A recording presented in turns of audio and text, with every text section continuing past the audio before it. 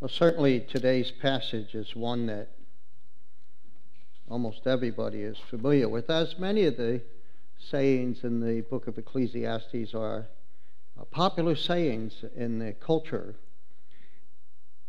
For everything, there is a season. But God gives us these things to teach us lessons. And the main lesson uh, that the preacher from the book of Ecclesiastes is trying to get across is these seasons teach us about God, about the fact that there is a creator and we are part of his creation.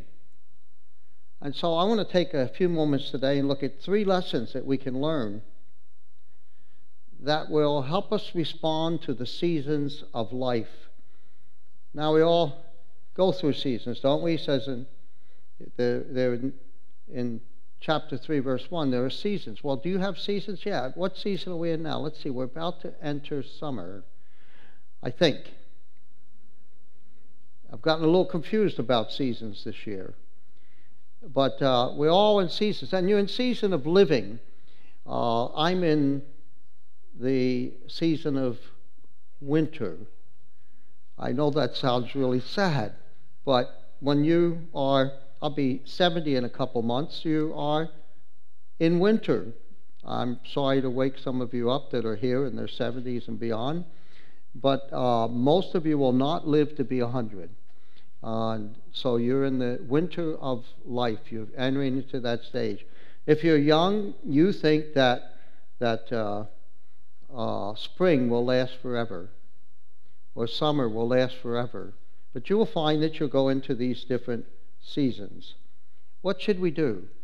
Well, as we study this passage, the writer is trying to get some points across to us. And here's the first point I think he wants us to understand we need to get real. Here's the reality for everything in, Galatians, in Ecclesiastes 3.1. Here's the reality. Everything, there is a season and a time for every matter under heaven. Life is a mixed bag.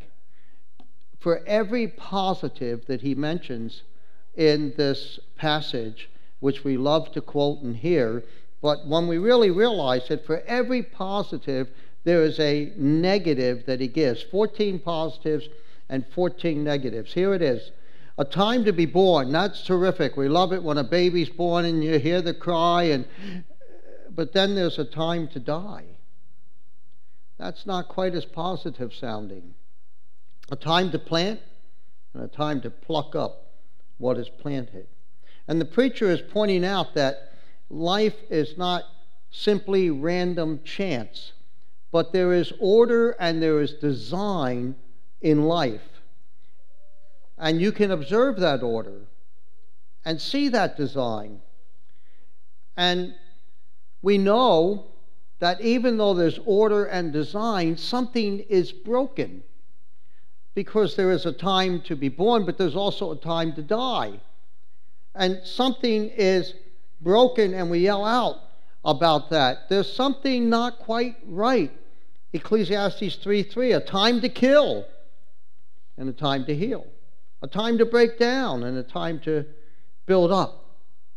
Yet, even in the life that we live, where sometimes things are going very good and sometimes it's not quite right, we sense there is organization, there is planning, there is structure, there is the seasons of the years, there are the times of our lives, and we sense behind the scenes something is operating.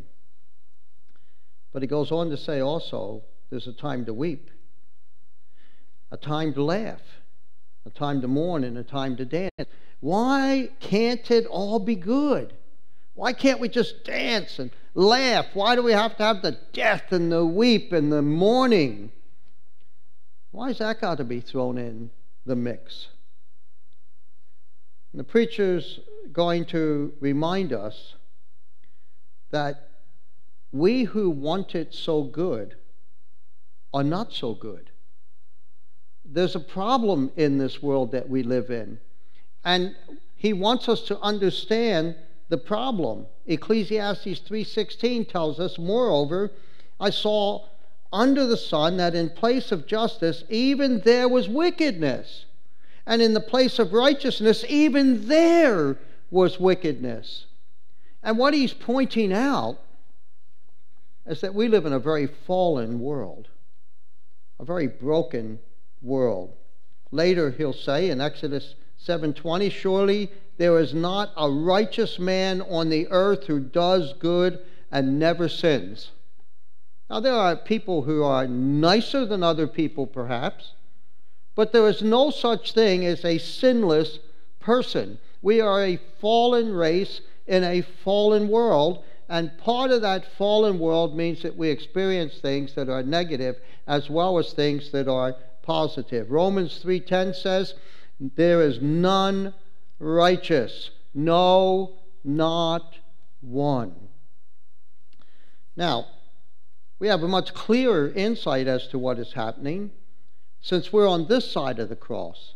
We have much more scripture than the preacher had, and we have more knowledge and more opportunity to understand what is taking place. Romans 8, 18 tells us, I consider that the sufferings of this present time, which we all will go through, are not worth comparing with the glory that is to be revealed to us. Notice in verse 19, for the creation waits with eager longing for the revealing of the sons of God, for the creation was subjected to futility, not willingly, but because of him who subjected it in hope. Now, here's what I think is happening here.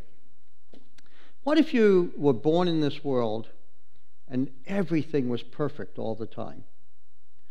You never had a fight, never had an argument, you always got the right position in life. You always had enough money. You always had enough food. You sang. You danced. It was wonderful. Except for one thing you would not know that you were a sinner. And the wages of sin are death. You would not know that there was an eternity to be gained in a positive sense or eternity to be lost in a negative sense. It is the hardships that come our way and the difficulties that come our way that remind us that we are sinners in need of grace and salvation. So he creates, God gives this earth or puts it in futility so that we might cry out to God and discover who he is.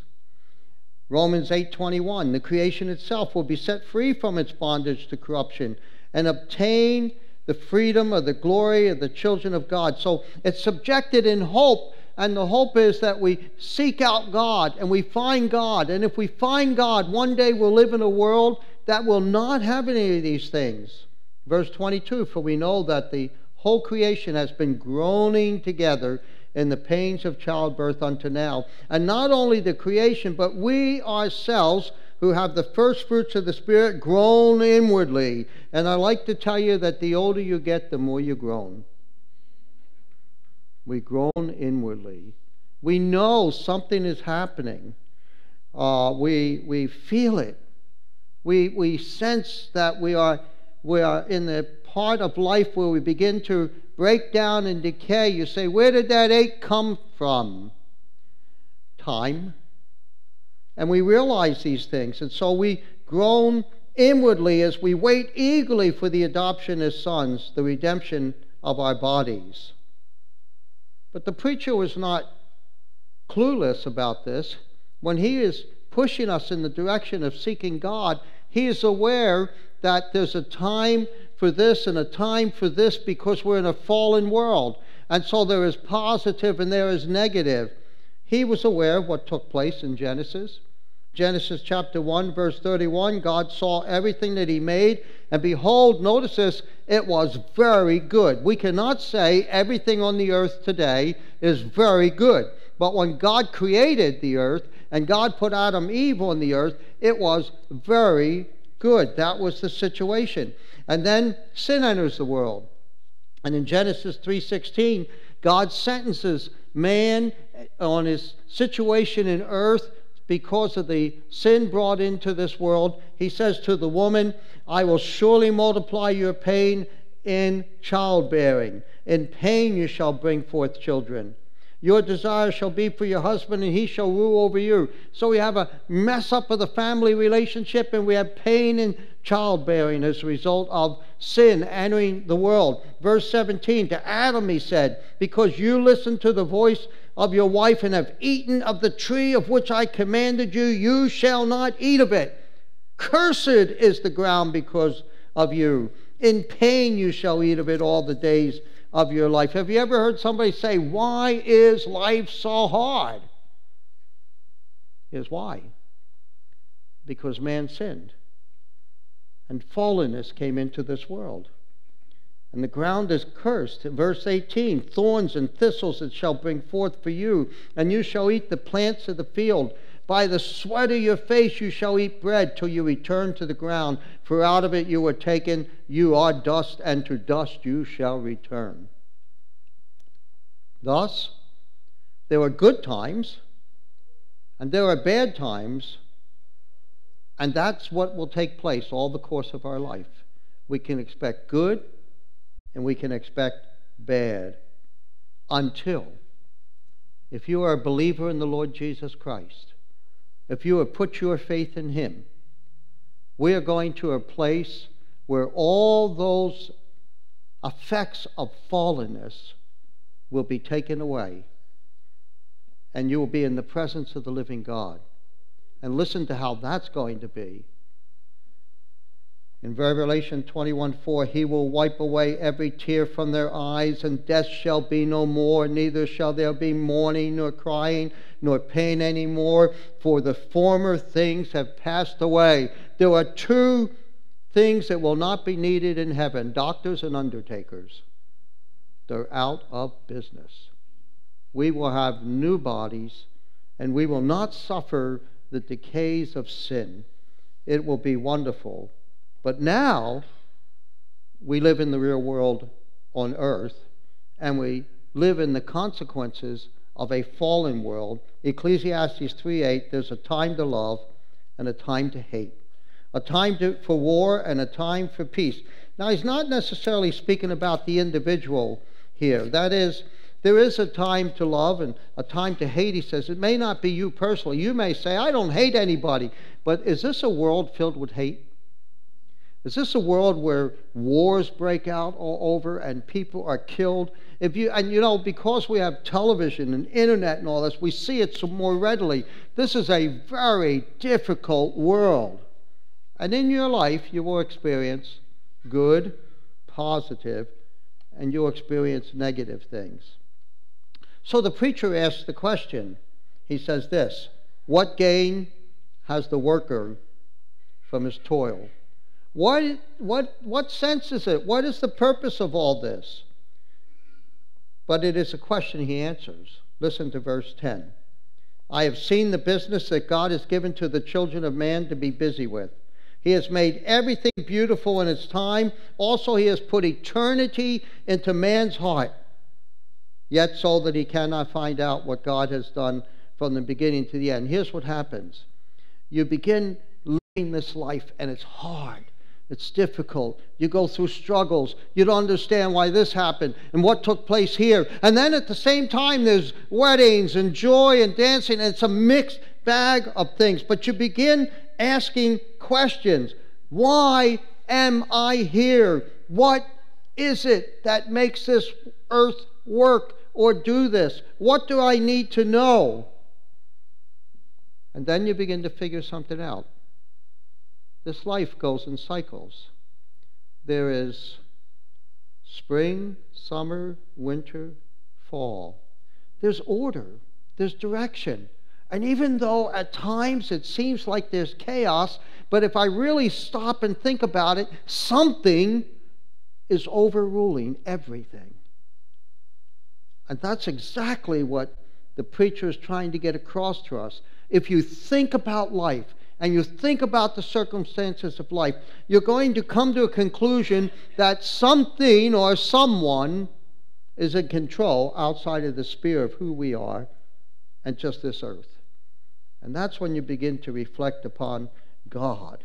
And you begin to think about God. And you begin to think about the fact that in this fallen, broken world, we receive mercy and grace at the hand of God. There may be seasons, but God reveals himself to us through those seasons. And even in the midst of hardship, he's to be found. That's what the preacher is concluding here. In Ecclesiastes 3:12, I perceive that there is nothing better for them than to be joyful and do good as long as they live. Also, that every one should eat and drink and take pleasure in all his toil. This is God's gift, despite, despite a spin, sinful nature, despite a broken world.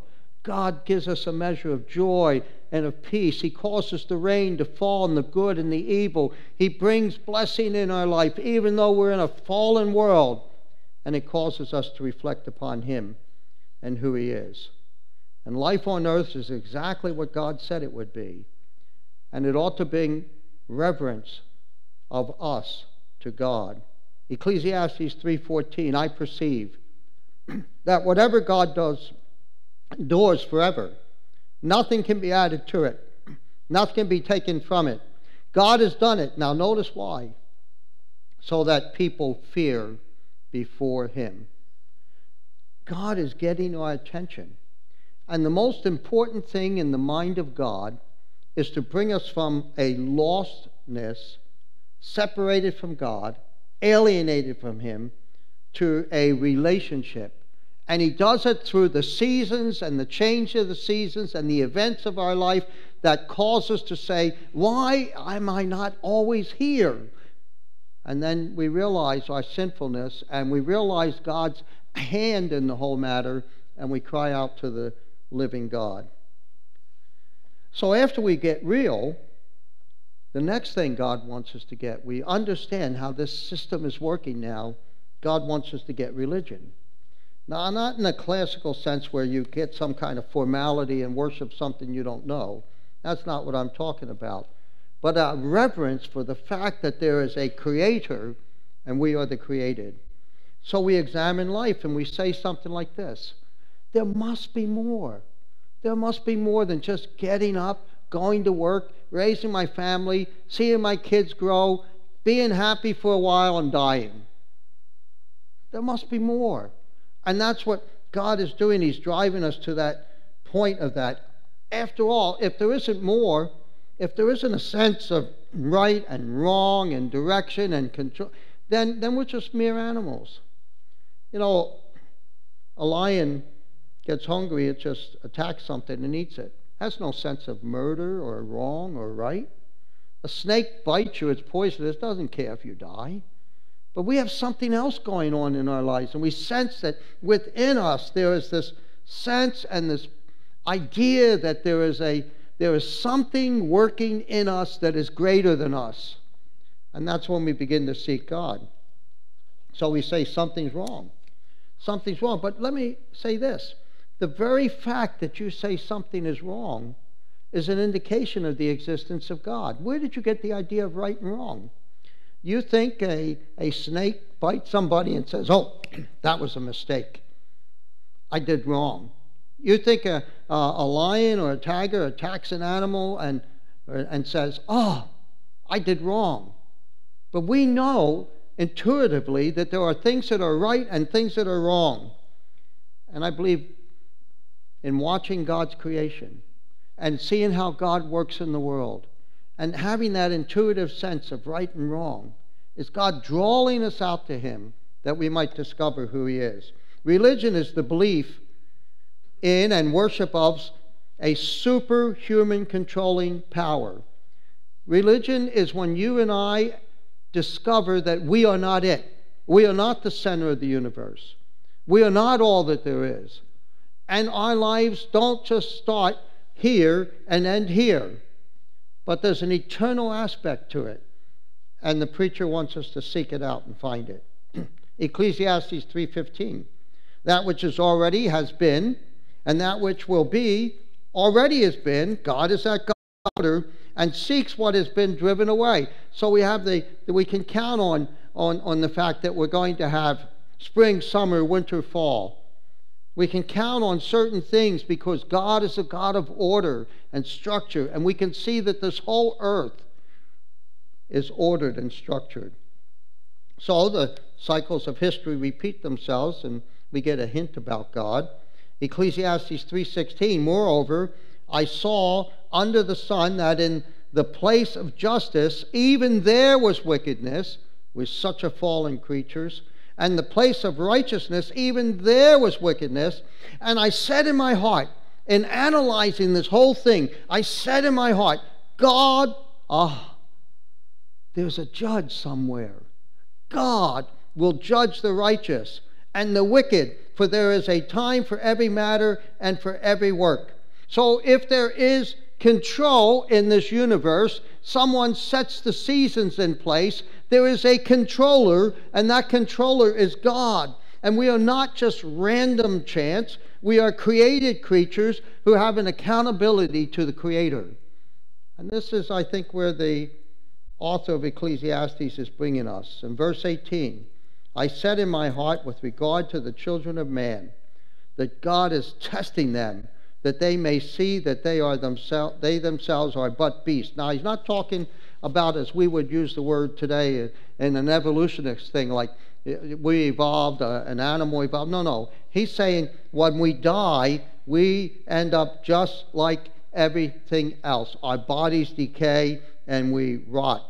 And he's saying we are not godlike. We are created. We have serious limitations. Ecclesiastes 3:19 For what happens to the children of man and what happens to the beast is the same.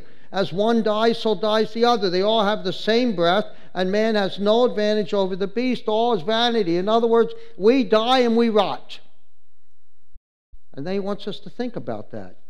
And then he wants us to think, what about beyond? He says, all go to one place, or from dust unto dust they return. Again, this is not a comment about eternity.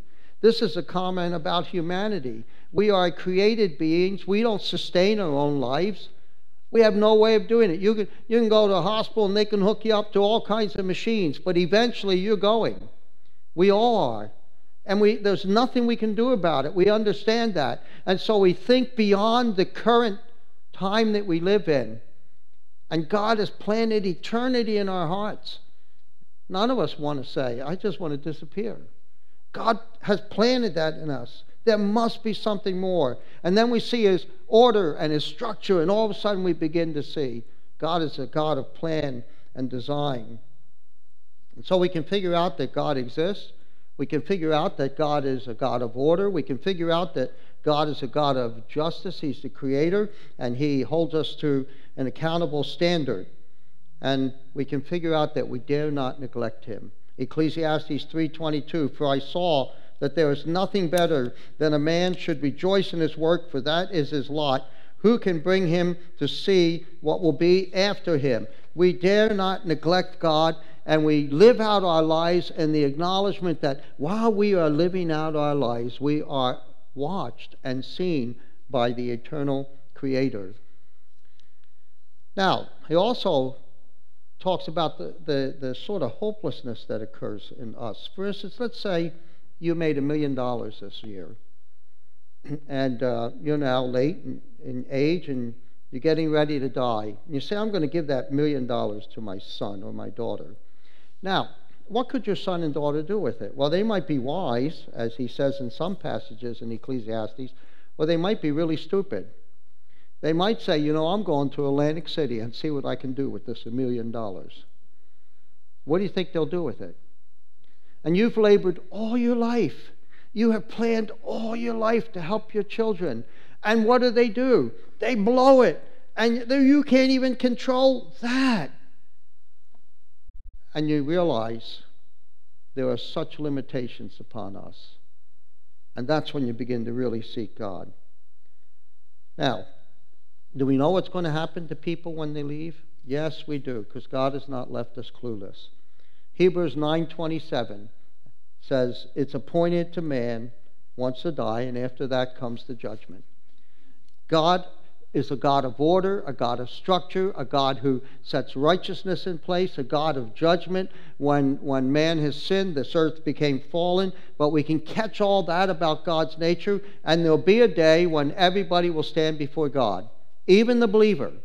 and give an account of their life. 2 Corinthians 5:10 for we must all appear before the judgment seat of Christ and it says each one of us will receive what is due for what he has done in the body whether good or evil. Therefore, he says, knowing the fear of the Lord we persuade others. And what the preacher is trying to do is to get our attention off of that which is temporal and stop complaining about our current situation, but look beyond life on earth into an eternal aspect and to see and discover the living God. Well, we can get real, we can get religion, and then I think he wants us to get relationships. Here's what I've discovered I've discovered that doing the Christian life, living the Christian life, was never meant to be alone. First, we get in relationship with God. Then we get in relationship with God's people. Listen to what the preacher does. He gives us a few insights about how we should live our lives in this fallen and broken world. Here's the first one he gives us Don't spend your life and all your energies trying to keep up with the Joneses because it's all going to the junkyard. It's all going there. You know, uh, they have this commercial guy pulls up in his house in a new car and his neighbor's looking and he's tempted. Listen, it, if God blesses you, that's fine. But the reality is, striving after things and more things is mostly just a waste of effort. Ecclesiastes 4 4, listen to what he says. Then I saw that all toil and all skill in work come from a man's envy of his neighbor. We are told in Scripture and taught to learn to be content. We're in this broken, fallen world. We have purpose when we discover God, and we learn to be content. And if you focus on what other people have, and you focus, how come they're so lucky? How come they're so happy? How come they're this? If you focus on all those things, you know what you are? you're never happy. But if you focus on God has given me the rain, He's given me enough food, He's given me clothing and shelter, therewith I shall be happy. You will find life to be much more pleasant. Second, don't go to the other extreme. And the other extreme is don't sit back and do nothing. Say, well, you know, there's a time for this and there's time for this, therefore I can do nothing. No. And so he says, Ecclesiastes 4 5, the fool folds his hands and eats his own flesh. Better is a handful of quietness than two hands full of toil and a striving after the wind. The other, the other opposite that happens is we become hopeless and we begin to say, Que sera, sera, whatever it will be, will be. No, God has responsibility for us. He is a God who is a creator, a God who organizes and plans. He expects us to be a people who are creative, organized, and planned, but He doesn't expect us to go crazy trying to get all we can down here, and He doesn't expect us to go lazy and do nothing. He expects us to live our life under the acknowledgement of His sovereignty and who He is, and honor Him with what we do. And so don't go the other extreme. But here's what will help you walk the Christian walk. And this is what the preacher wraps up with in chapter 4. He says in verse 4 two are better than one because they have a good reward for their toil. I can tell you, having been married 47 years, that two, almost 47, two are better than one. I can tell you that, that it's a great thing. But not everybody's married. And so what do they do? Well, you have to find relationships in the Lord that are helpful and that, that will help you live your life in a way that honors Him. Look what he says in the next verse. For if they fall, one will lift up his fellow. But woe to him who is alone when he fails and has no one to lift him up. Here's one of the great mistakes we make about life. We attempt to live the Christian life a bit of like an island. We don't get involved in small groups. We don't get involved in relationships. We don't get involved in hanging out with people at the church. And what happens when, when crises comes, when tragedy comes, when heartache comes, we don't know how to withstand it because God has designed life to be a partnership, believer with believers, helping one another. And so when you say life doesn't make sense, God has a believer to come alongside of you and say, Yes, let me help you through this. It makes sense because God has done this and God has done this. And so God wants us to be together. Look what he says in verse 11. Again, if two, he says, again, if two are, are together, lie together, they will keep warm. But how can one keep warm alone? Now, of course, if you have a wife with cold feet, you may have some difficulty. However, this is not what that's talking about. In the old days, they didn't have heaters, they had a fireplace. And when they slept, they slept in a general room and they all wrapped up together because they shared the body heat. Incidentally, they loved to sleep in the barn too. You know why? Animals are natural heaters. And that's how they kept, they realized they needed each other. And that's what kept them on course. And if you want to be able to, to navigate the course of this life and understand some of the things that God is doing, we need each other. He says, and then verse 12, and though a man might prevail against one who is alone, two will withstand him. A threefold cord is not quickly broken. And then we read in Scripture elsewhere there is a friend who sticks closer than a brother, and of course that would be the indication of the Lord Jesus Christ. So, what are we supposed to be doing? We're in this broken world and we realize it. We realize we're human. Then we discover that God, there's a God, and we discover we're sinful, but we need salvation and forgiveness and relationship. And then we fall into that relationship with God. But now I'm still in this broken world. What do I do? He says in Hebrews 10:23, "Let us hold fast the confession of our hope, not wavering, for he who promised is faithful. And let us consider how to stir one another to love and good works, not neglecting to meet together as the habit of some, but encouraging one another, and all the more as you see the day drawing near. There is a season, a purpose, a time for everything in life. And when we discover that God is the one behind it all, and we discover who He is, we discover our fallenness, our brokenness, our need of a Savior, and we come to a Savior. But don't think we do it alone. Then we need to get tight with people who know God and walk this life hand in hand, relationship to relationship, until the day comes where either you will go to be with the Lord or the Lord will call us all up on that great day of rapture. There is surely a God in heaven, and the seasons of life reveal him. And if there is a God, he's worthy of worship and obedience. And life with like minded people helps us walk in this broken world in a way that honors God and is a blessing to us. That's when you stop chasing the wind and running after everybody's suggestion and everybody's idea, and you really begin to get your life together. Otherwise, it is what the preacher says meaningless, meaningless. Why am I here and what am I doing? Well, let me just say this. We say, Where did the time go? And the answer is, Time does not go, we go. That's what we need to prepare for. Time does not go, we go. There will come a time where you will not be here anymore. And that's the thing that we need to be ready for. And all the circumstances of life are given to us to drive us to our knees to discover a Savior, the Lord Jesus Christ. And so uh, let me ask you this question Are you ready to go? And I don't mean leave the service. I mean, are you ready to go? And if you are, then you can live life to the fullest. But if you're not, you'll continually be hitting your head against the wall saying, Vanity, vanity, always vanity. I trust you are.